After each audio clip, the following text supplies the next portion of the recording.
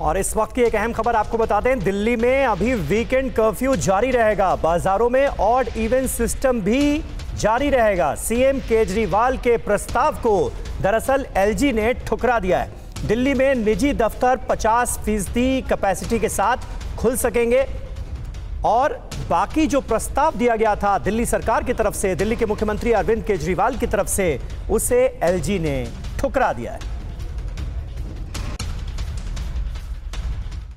अड़ी।